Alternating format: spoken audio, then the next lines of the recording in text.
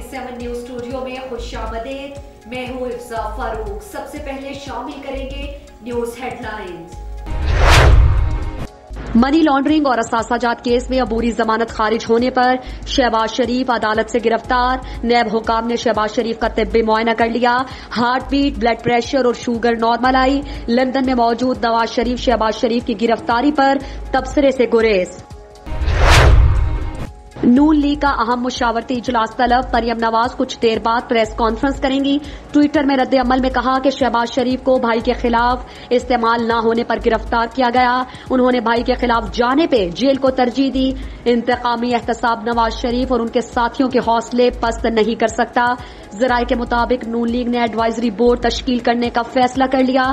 شہباز شریف کی عدم موجودگی میں مریم نواز قیادت سنبھالیں گی۔ ترجمان نون لیگ مریم اورنگزیب نے شہباز شریف کی گرفتاری اے پی سی پر عمران خان کا رد عمل قرار دے دیا۔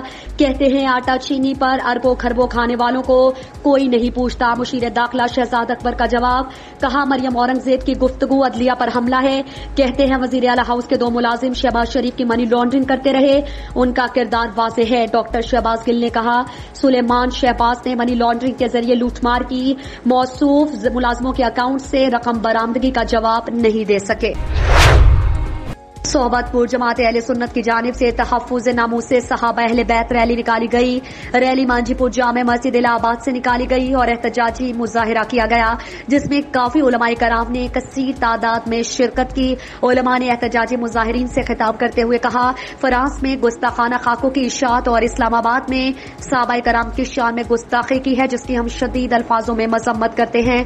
ہم حکومت پاکستان سے اپیل کرتے ہیں کہ ان گستاخانہ خاکوں کی اشاعت کو روکنے کے لیے عالمی سطح پر کردار ادا کرے اور تمام دنیا کو یہ پیغام دے کہ مسلمان سب کچھ برداشت کر سکتا ہے، مگر نبی کریم صلی اللہ علیہ وآلہ وسلم، صحابہ کرام، رضوان اللہ علیہ الموجبین اور اہل بیت کی شان میں گستاخی ہرگز برداشت نہیں کریں گے۔ ان کا مزید کہنا تھا کہ اسلام آباد میں حضرت ابو بکر رضی اللہ تعالی عنہا اور دیگر صحابہ کرام کی شان میں گستاخی کی گئی تو یہ ہماری حکومت کی ذمہ داری ہے کہ جو فرقہ واریت پھیلا رہا ہے، ان کے خلاف کاروائی عمل میں لائیں اور فوری گرفتار کیا جائے تاکہ پاکستان میں امن و امان کو برقرار رکھا جائے۔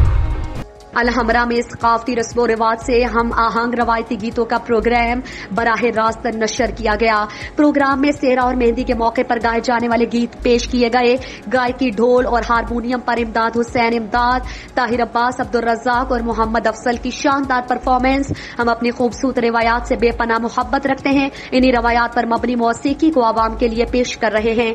عوام الحمرہ کی موسیقی پر براہ راست پروگرامز کو بے حد پسند کر رہی ہے۔ جو آئندہ بھی جاری رکھے جائیں گے اسسٹنٹ کمشنر آفس جہانیہ میں آبیانہ زرعی انکم ٹیکس اور تشخیص کے لیے کیے جانے والے رقبے پر آمدن ٹیکس کے حوالے سے تحصیل جہانیہ کے پٹواریان کے ساتھ میٹنگ کا اہتمام کیا گیا۔ اجلاس کی صدارت اسسٹنٹ کمشنر جہانیہ محمد بابر سلیمان نے کی۔ مجموعی کارکردگی کا جائزہ لیا گیا۔ اسسٹنٹ کمشنر جہانیہ محمد بابر سلیمان نے کہا کہ آپ سب آغاز فصل سے ہی آبیانہ اور زرعی انکم ٹیکس کی ریکوری کے لیے کمر کس لیں تاکہ آپ کی تھوڑی سی کوشش سے سو فیصد ریکوری مکمل ہو سکے۔ موجودہ ریکوری گیارہ لاکھ کے قریب ہے، جو کہ کافی ہے۔ اس میں بہتری لانے کی ضرورت ہے۔ جن نمبردار کی سابقہ ریکوری بے نام ہے ان سے فل فور ریکوری وصول کی جائے۔ ان کا کسی بھی قسم کا عذر قبول نہیں کیا جائے گا۔ حکومت پنجاب کی نئی پالیسی کے مطابق ساڑھے بارہ ایکڑ رقبے سے زائد تشخیص کیے جانے رقبے پر آمدن ٹیکس کا نفاذ کر دیا گیا ہے۔ لہٰذا اس کے بارے میں بھی کاشتکاروں کو آگاہی فراہم کریں تاکہ ریکوری میں دقت پیش نہ آئے۔